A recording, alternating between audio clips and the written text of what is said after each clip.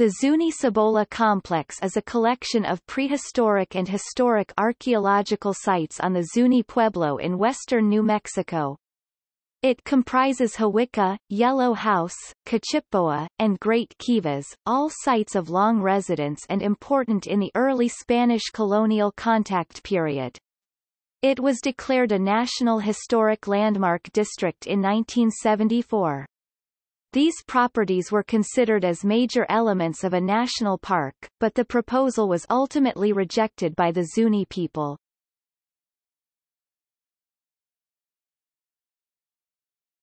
Topic. History The name, Cibola, first entered recorded history in 1539, when Spaniards in southern New Spain, present-day Mexico and Central America heard rumors that there was a province by this name with seven cities of gold, located across the desert hundreds of leagues to the north. These rumors were largely caused by reports given by the four shipwrecked survivors of the failed Narvaez expedition, including Alvar Núñez Cabeza de Vaca and an African slave named Esteban Dorantes, or Estevanico. Upon finally returning to New Spain, the adventurers said they had heard stories from natives about cities with great and limitless riches. Upon hearing the castaways' tales, Viceroy Antonio de Mendoza organized an expedition headed by the Franciscan friar Marcos de Niza, who took Estevanico as his guide. During the voyage, in a place called Vacapa, probably located somewhere around the state of Sonora, de Niza sent Estevanico to scout ahead. A short while later, Estevanico met a monk who had heard stories from the natives about seven cities called Cibola, said to be overflowing with riches. Estevanico did not wait for the friar, but instead continued traveling until he reached Cibola Hawikuh, now in New Mexico, where, at the hands of the Zuni tribe, he met his death, and his companions were forced to flee. Marcos de Niza returned to Mexico City and said that the expedition had continued even after the death of Estevanico, he claimed that they had seen Cibola from a great distance, and that it was larger than Tenochtitlan. In this city, the people used dishes of gold and silver, decorated their houses with turquoise, and had gigantic pearls, emeralds, and other beautiful gems. It is now believed by some historians that the mica-inflected clay of the adobe pueblos may have created an optical illusion when inflamed by the setting sun, thus fueling the tale. Upon hearing this news, the Viceroy de Mendoza wasted no time in organizing a large military expedition to take possession of the riches that the monk had described with such vivid detail. Upon the Viceroy's command, Francisco Vasquez de Coronado began his expedition, taking the friar Marcos de Niza as his guide. Coronado left with a small group of explorers from Culiacan on April 22, 1540. When Coronado arrived at Hawikuh Pueblo, which the chroniclers called Savola, Cibola, or Cibola, he discovered that Marcos de Niza's stories were lies, and that there were in fact no treasures as the friar had described. He also found that, contrary to the friar's account, the sea was not within view from that region, but it was instead many days' journey away. Nevertheless, Coronado occupied the region by military force and used it as a base for future explorations.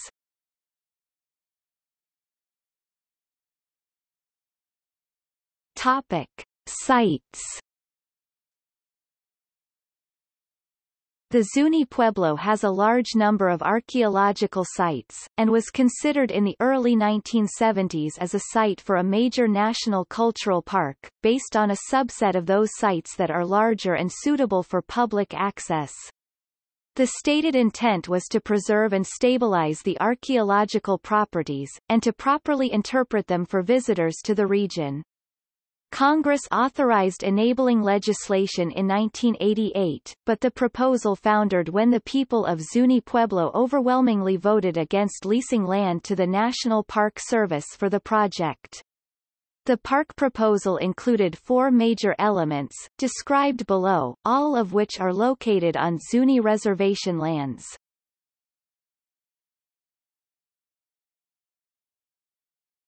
Topic. Yellow House Yellow House, known in Zuni as Hashodathluptsina, is located east of Zuni near the mouth of Horsehead Canyon.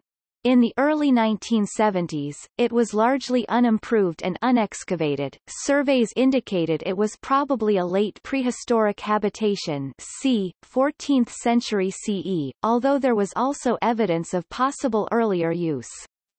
The site's location was considered suitable as a contact site for the proposed national park, due to its proximity to New Mexico State Road 53.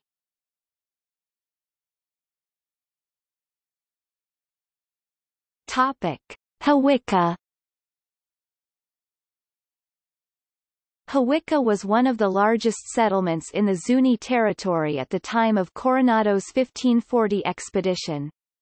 Located about 12 miles 19 kilometers southwest of Zuni, it includes the excavated ruins of that settlement, as well as the remains of the 17th-century Spanish mission La Purísima Concepción de Hawikuh. Spanish control over Hawikuh in the 17th century was always tenuous, and it was abandoned after the 1680 Pueblo Rebellion.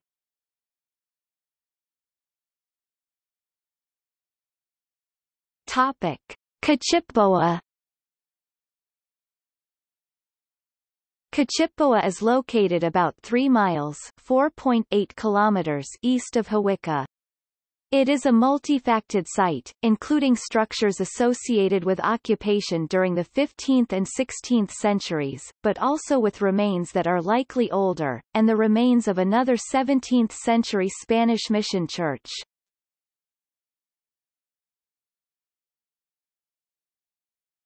Topic. Great Kivas The village of the Great Kivas is located 17 miles 27 kilometers northeast of Zuni, and is considered a transitional site associated with both the Chaco culture, which flourished north of the Zuni territory 1100 to 1350 CE, and the Mogollon culture to the south. The site includes three major room complexes and two very large kivas.